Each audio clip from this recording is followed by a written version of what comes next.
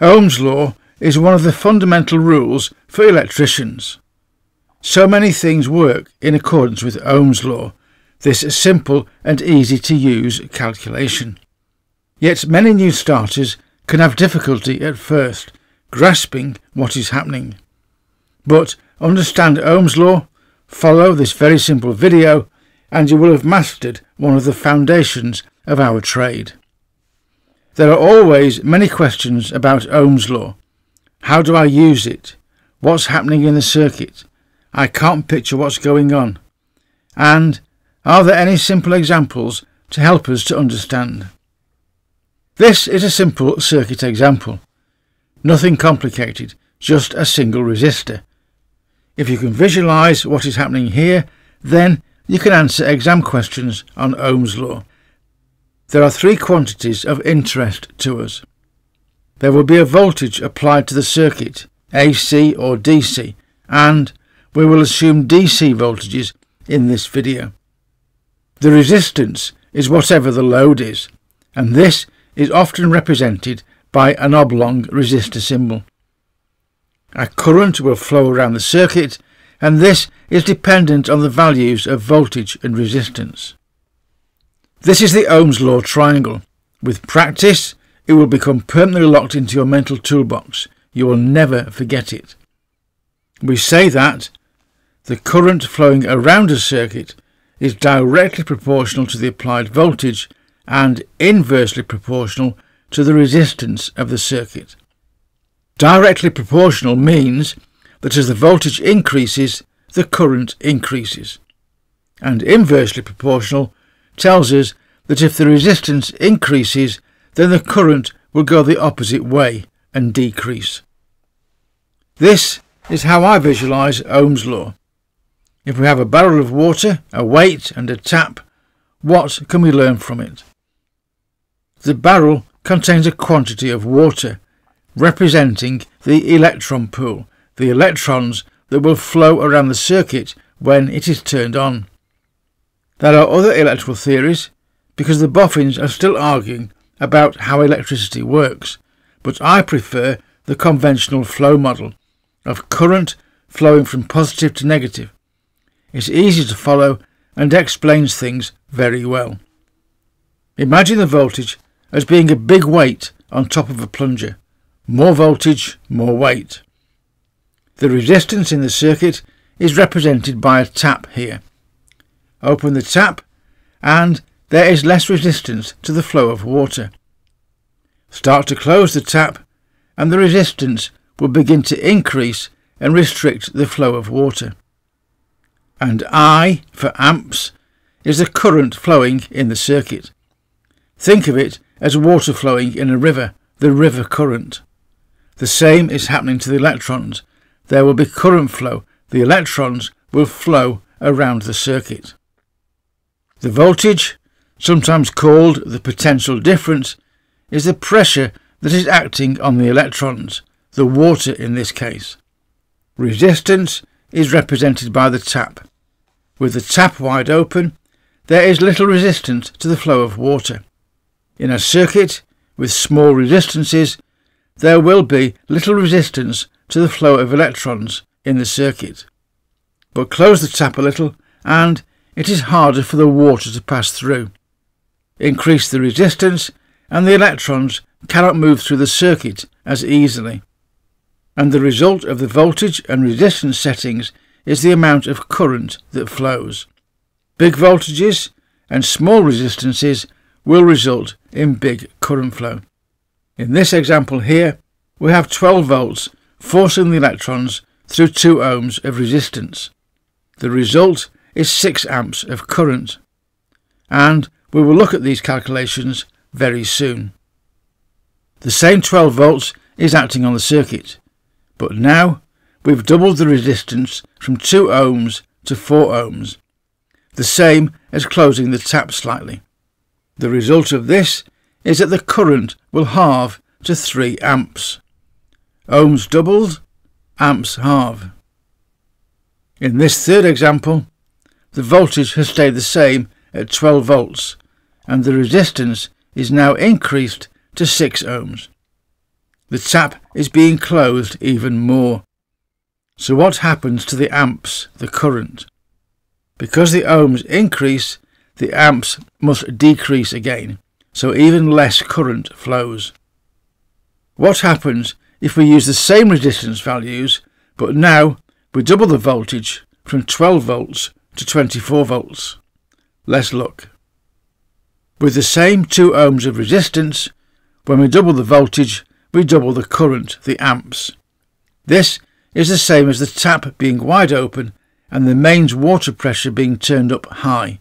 More water is going to come out of the pipe.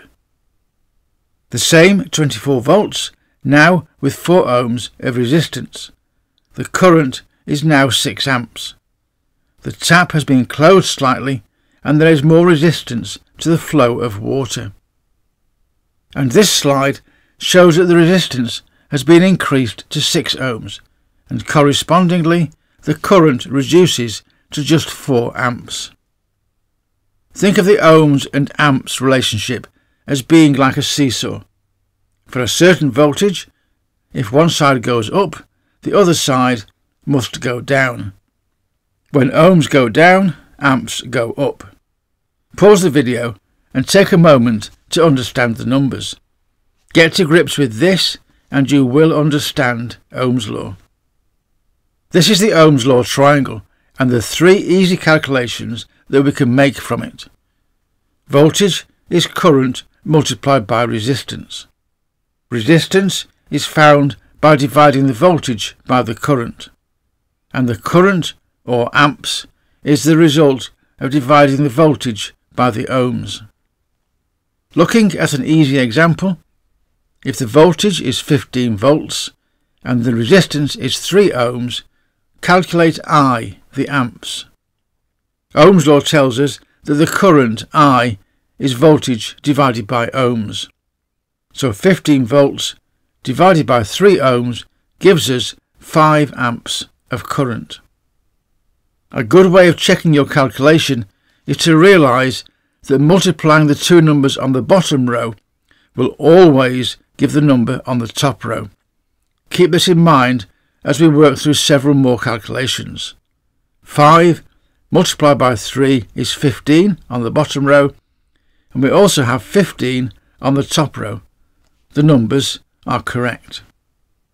A useful method that I often use is to draw a blank triangle as shown. Then fill in the numbers that you already know from the question, and the triangle will show you which calculation to make. Look at this example.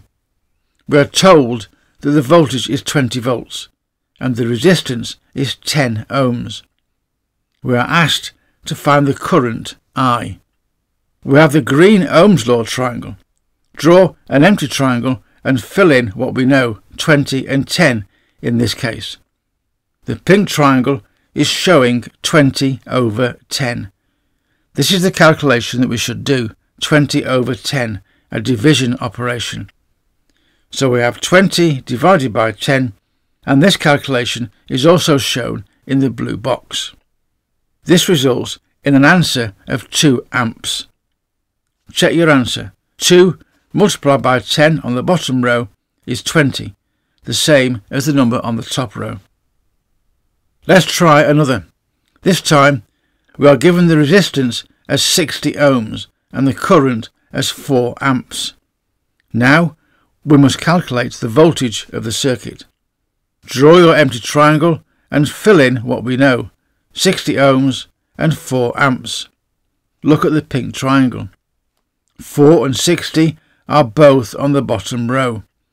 This cannot be a division, so it must be a multiplication, also shown in the blue box. 4 multiplied by 60 is 240, so the circuit voltage is 240 volts. Now this one.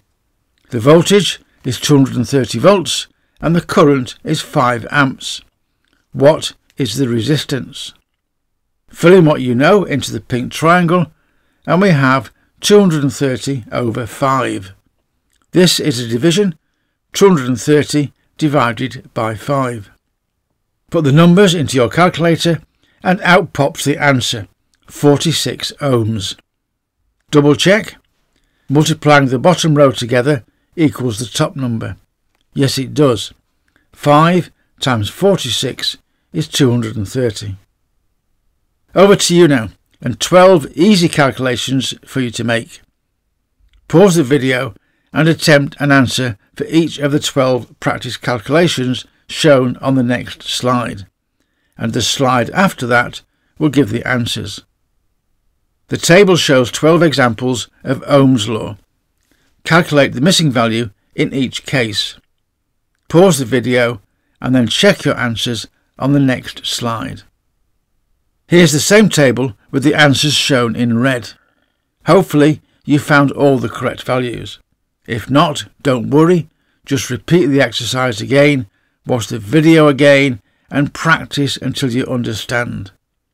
In a future video, we will move on from this simple one resistor example to series circuits and parallel circuits, where things are completely different, but still easy to work out if you follow a method.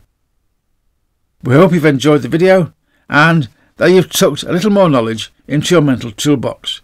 Thank you for watching, it really is appreciated. Please subscribe to our channel to get access to all of our videos and remember to click on notify be sure of not missing our next video.